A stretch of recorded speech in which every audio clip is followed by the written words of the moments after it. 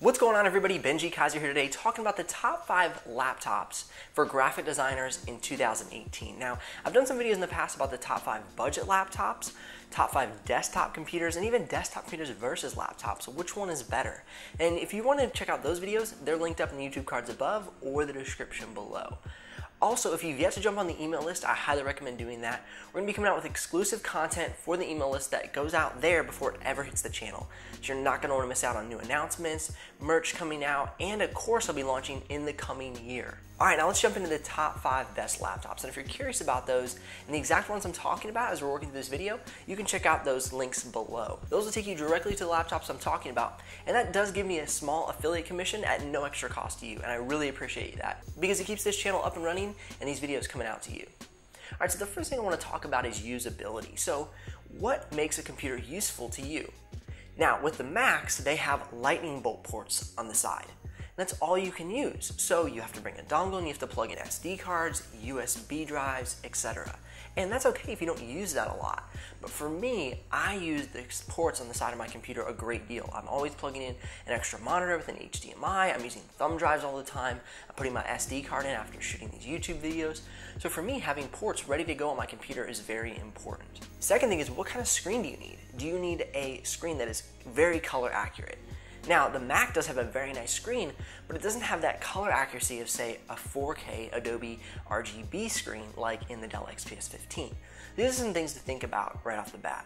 Now, before we jump completely into my laptop recommendations, I want to talk about the specs for the computers because this will help you be able to decide to pick whatever computer you want. The first thing we're going to talk about is the RAM. So, why is RAM important for a graphic design computer? Well, all of your programs are run off of the RAM memory. So this means that when you're using your programs like Adobe InDesign, Adobe Photoshop, Adobe Illustrator, it's taking RAM memory to run those programs. So the more RAM memory you have, the more programs you can have up and running, and the computer will run at optimum performance. I recommend 16 gigs of RAM. You can get away with 8, and I've done that in the past with my old MacBook Pro and my i5 processor as I was going through college, and it worked well, but I noticed that I could only keep one, maybe two programs open at a time. Now I have 32 gigs of RAM in my Dell XPS 15 and it's very fast. I can run Adobe Photoshop, Adobe InDesign, Premiere Pro, and be uploading a video to YouTube all at the same time with very little performance decrease. Now my fan did turn on, I did get a little throttling, but I mean, that's a lot going on in the computer. And the 32 gigs of RAM handle it very well. All right, the next thing I want to talk about is the processor. This is something that's been getting a lot of talk lately with the i9 coming out, with some of the heating issues that they're seeing in the MacBook Pro. And so I want to address that because I think it's important to know how much power you really need as a graphic designer. Like I said earlier, I lived a long time with the i5 during my college days. Now I would recommend the i7 processor. The reason being is the programs are getting a little bit more robust, the computers are getting a little bit more powerful and it's taking more brain to run the components within the computer. So that's why the i7 is a great pick for graphic designers. Can you do the i9? Yeah, you can do the i9, but I don't think it's necessary for graphic designers. And we'll talk a little bit more about video editing and i9 processor when we look at graphics processing units. All right, next let's talk about the hard drive. So HDD versus SSD, solid state hard drive versus hard disk drive. Which one is good for graphic designers? Well, I would not do anything but a solid state hard drive if you're a graphic designer. There's two reasons, reliability and performance. All right, first let's talk about reliability. Many friends of mine would come to me saying, dude, my hard drive crashed, like my projects are gone, my, project's gonna be late, I don't know what to do. And they were truly in a pickle because the teacher's not gonna say, oh, your hard drive crashed, it's okay, no big deal. You can get an A or turn your project in late and it won't penalize you. No, that's not gonna happen. And neither is it gonna happen in the real world. And that's what I saw a lot with HDD hard drives, hard disk drives, because they have moving parts. So moving parts end up failing more than the solid state, which has no moving parts. So reliability is huge, and the solid state hard drive will give you that reliability. Next would be performance. Because there's no moving parts, because the technology is newer, more advanced, and continuing to grow, the solid state hard drive is much faster. So your boot up times, your save times, loading times of your programs, all that's going to be faster when you use a solid state hard drive. How, all right, so how much solid state hard drive should you get? I would recommend around 256 gigs to 512. And if you want to get more, if you want to have more opportunity to save files, I would get an external drive. And Samsung makes really great external drives that you can use, and you can get those. I'll attach that in the links below. And I really like those. They're really reliable, really fast, and uh, they're a good pick. Lastly, let's talk about the graphics processing unit. Is a graphics processing unit important for graphic designers? Well, I would say for graphic design alone, it is not the most important thing. You can get away with a simple graphics processing unit somewhere around a GTX 960 or around there, which comes pretty standard in most graphic design laptops. But you'll notice the computers that I'm recommending will have at least a GTX 1050 or above. The reason being is I want you to be prepared for motion design, for video editing, for basically where the graphic design industry currently is and is continuing to go.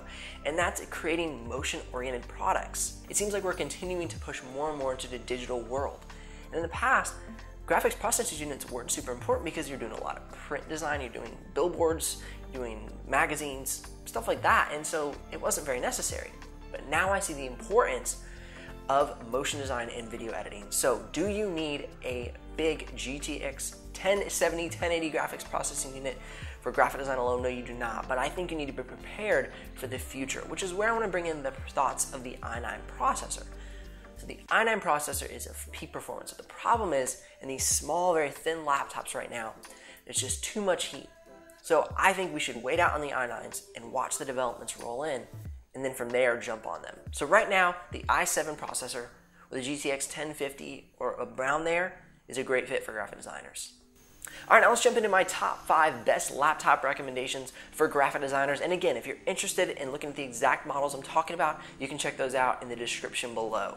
The first laptop I want to talk about is the Dell XPS 15. This is my daily laptop that I use every single day. It's very fast, works great for graphic design, for video editing, for motion design, and it has a 4K Adobe RGB screen, so it has amazing color accuracy. That's a question I get a lot is, is this screen color accurate? Well, the 4K screen on the Dell XPS 15 is fantastic. All right, so why is this computer so powerful? Why is it so useful? Well, it has the ports on the side that I need. It has 32 gigs of RAM. It has a GTX 1050 graphics processing unit. It has the i7 processor and it has 512 gigs of solid state hard drive. So it's a very well equipped computer. Another big reason why I really like this computer is it has an all aluminum chassis with a carbon fiber key deck. So if you're somebody who's struggling between the MacBook Pro versus Windows debate, this is the perfect computer for you. I'm a diehard Mac fan for many years, and I recently made the switch just because I want more performance and more video capabilities, and this Dell XPS 15 has that. All right, so we're working through some of these details in these computers. If you have any questions, you can grab a link to the question submission form in the description below. Drop me a question and I'll be sure to answer that question on the channel. All right, the next computer, speaking of the MacBook Pro, is the MacBook Pro 2018. This computer is well equipped. I mean, for me, I struggled mentioning the MacBook Pro in my videos for the past year or so because they just hadn't made sufficient upgrades to make me confident enough to recommend this computer, but now they have done so. It now comes with the i7 processor. It comes with the Radeon 560X graphics processing unit. It comes with a range of 256 to 4 terabytes of solid state hard drive, but I recommend getting the 256 to 512 because you don't need that much in your computer and it'll cost you like $7,000 to get that computer. So just don't do that. The screen is a very high quality screen, but it's not going to be the Adobe RGB color accuracy of the 4K screen. Just keep that in mind. And remember, you can only have lightning bolt ports on the side. So you'll have to get a dongle to bring in USB drives, HDMI ports, SD cards, all of that. This also comes with a range of 16 gigs of RAM to 32 gigs of RAM, so really good upgrade. But remember, you cannot upgrade this computer on your own. So once you get the 512 gig solid state hard drive and the 16 gigs of RAM or the 32 gigs of RAM, that's it. So that's the great thing about the Windows products is you can upgrade them. You can no longer do that with the Macs. Uh, all the components are soldered to the motherboard, so keep that in mind. Very important to me as a graphic designer. All right, so the next computer I want to talk about is the MSI GS65 Stealth Thin. This computer is a great computer if you're looking for an alternative to Dell XPS 15 or the MacBook Pro because it is a more affordable version. The reason being is it doesn't have the all aluminum chassis, but it is still great build quality. This comes with 32 gigs of RAM, the GTX 1070 graphics processing unit, so really good for motion design and video editing, as well as 512 gigs of solid state hard drive and the i7 processor. So you're not gonna go wrong with this computer. Got great port options on the sides, but it is not a 4K screen. So that's one reason you're saving some money because you don't have that Adobe RGB color accuracy of the 4K screen. It's just HD, but still a fantastic pick. And continue to move forward, computer number four is the Razer Blade 15. Now this computer is great because it comes in the option of a 4K or an HD screen. So right off the bat, you can work with that color accuracy or go for more of an affordable model. This computer is well equipped. It has 16 gigs of RAM, 256 gigs of solid state hard drive, the GTX 1060 Max Q GPU, and it has an i7 processor. So a great computer for graphic design, well equipped for your needs uh, at a bit of a more affordable rate. And the last computer I want to talk about, this computer's been getting some really good rave from a lot of people for the comparison of the MacBook Pro and the Dell XPS 15, and that's the Gigabyte Aero 15.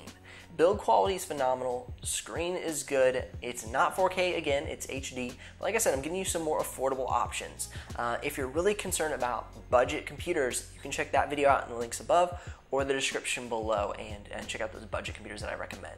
All right, so the Gigabyte Aero 15, this computer comes with 16 gigs of RAM, the GTX 1070 graphics processing unit, 512 gigs of solid state hard drive, and the i7 processor. The computer is also rated for 10 hours of battery life, which is one of the best battery lives in this lineup of computers. So that's something if you're really concerned about, I would definitely check that out.